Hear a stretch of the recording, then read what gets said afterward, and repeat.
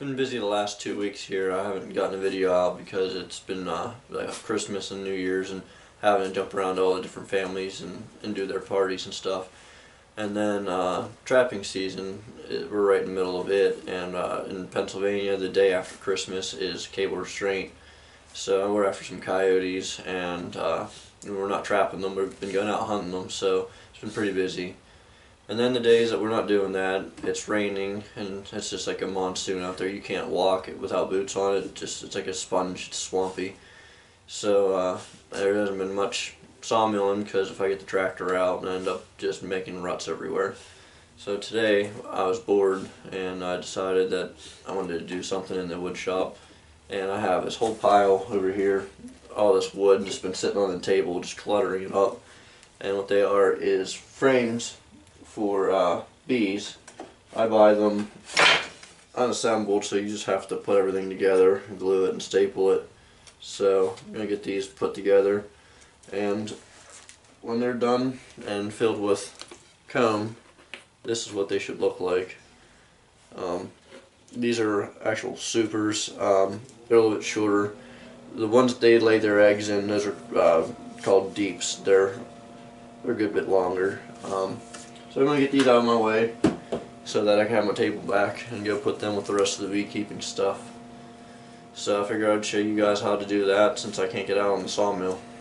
Okay, so for frames there's three parts.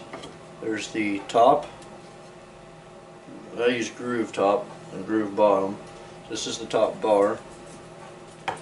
This is the bottom. And then these are your sides. So to put these together, I always just put a bunch of tops down, glue these, and you staple them, and then you put your bottoms in like that. So that's how I do it.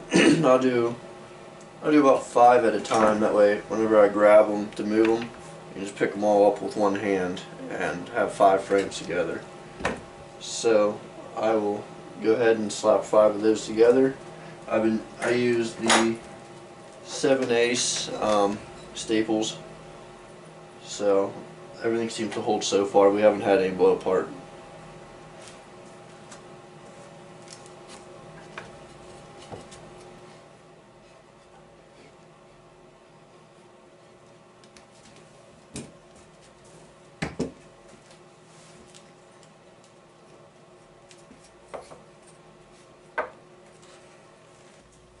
Okay, so what I do is take uh, five of the side pieces, get my wood glue out, and I'll put it on the sides and then down the center. So you'll have a good bit of glue in there and then I'll do one side.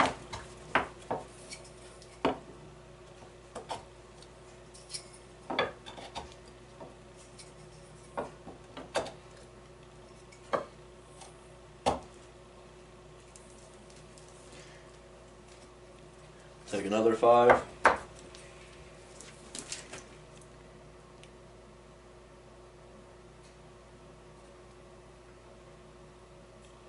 both sides and then the middle. And then same thing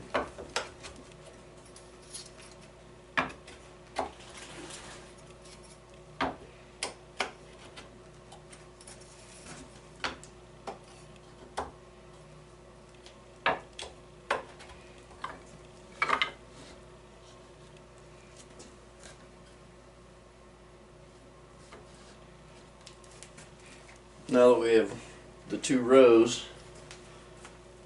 I'll take the glue and I'll dab it on each side and then it runs down into the middle while I'm going to the next piece.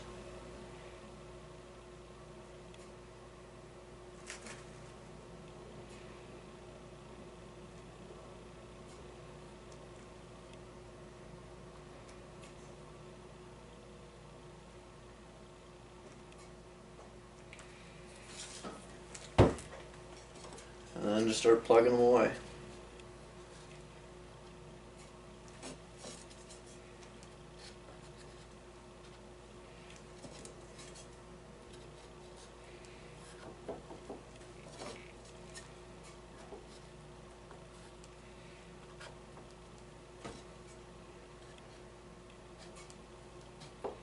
This will probably be a pretty short, boring video, but some people might be interested in how you make the bee-frames. So, once you get them all glued and assembled like that, just take the gun and start popping some uh, staples in.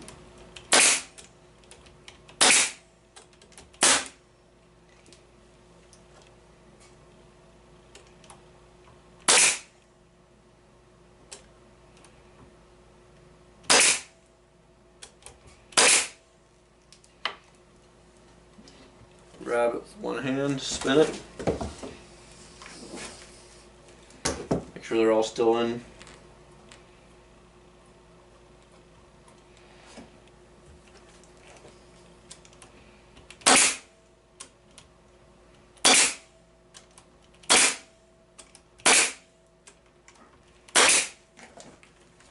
That's the bottom. Now you flip it over.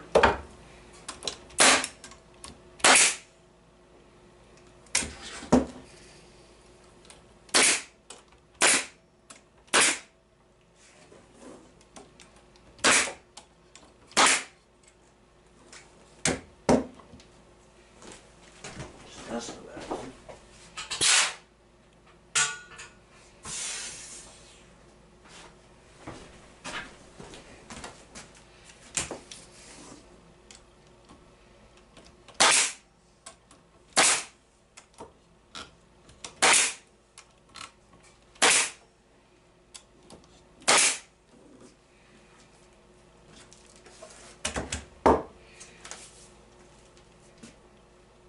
Alright, that's five frames done.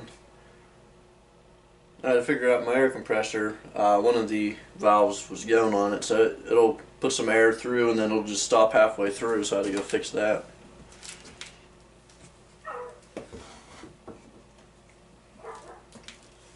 So then I'll just set off to the side and keep running through them. So I'll probably throw this in a time lapse or something.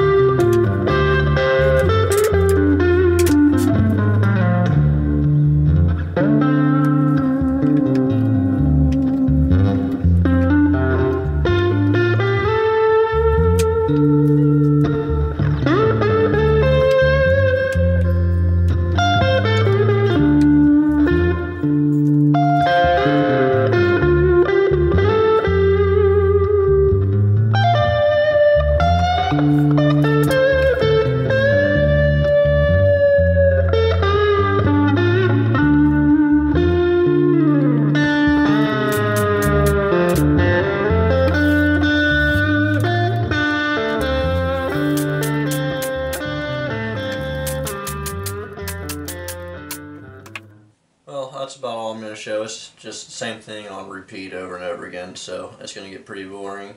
I'm going to go ahead and finish up. I have two more things. I think there's 25 in each of these little bundles, so I got about 50 more frames to put together.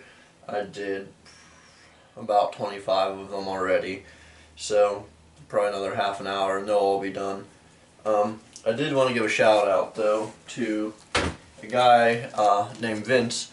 I'm on the Facebook page for uh, the Wood-Mizer owners, and uh, for Christmas somebody wanted to get me some uh, saw blades. So I was looking into it, see if uh, maybe I should upgrade to a different uh, degree of blade. So I was asking questions what people recommended for my mill, and I actually had a guy. His name is Vince. I'm not even going to try to pronounce his last name because I don't want to butcher it, but uh, I'll put a link to his Facebook page in the description.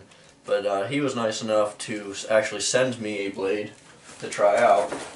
And I guess he works for a company that sells uh, Lenox blades. And he said he would send me one for a sample. So I'm looking forward to getting to try it out. Uh, I haven't got a chance to compare it to Wood-Mizer's blades yet, but pretty anxious to see how well it works.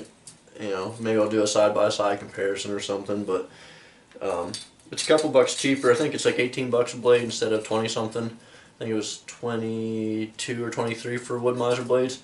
This is 18 bucks a blade, so if they work just as well, I might might use them more often. So that'll be in the upcoming video.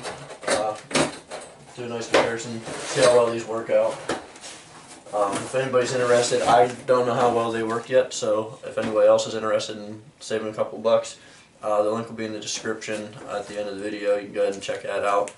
Um, hop over to his Facebook page, give it a like, let him know that uh, you're interested in, in his blades. Alright, that's about all I got for today. Um, if you guys have any suggestions of upcoming videos, something you'd like to see, let me know. I don't know how much sawmilling I'm going to be able to do. It's about January now, once January and February hit, the weather's miserable, and I'm not quite set up for uh, winter yet, but uh, I do a lot of this kind of stuff in the winter, do some messing around. I got a farmhouse I tore down. It was made out of uh, wormy chestnut. It was all plank house, not a single stud in the whole house. So I have some of that left over that I usually just mess around with little projects. So if you have any suggestions, feel free to hit, hit up the comments, let me know. Uh, also, I have a Facebook page. I post a bunch of pictures on there of things I'm doing. Like if I'm tiling a bathroom or remodeling my, like a porch for, like I did for my family this year, doing siding and stuff. I've been uh, updating that with pictures, so if you uh, feel free to go over there and like that. Also, if you enjoyed this video, feel free to go ahead and subscribe to it and uh, get updated for all the future videos that I put up. I'll try to uh, keep videos coming up as often as I can. Um, I have a full-time job, so when I get off of there, it's usually dark, so I can't do a whole lot outside and uh, it's just I'm so busy doing other stuff that I don't always have a camera with me.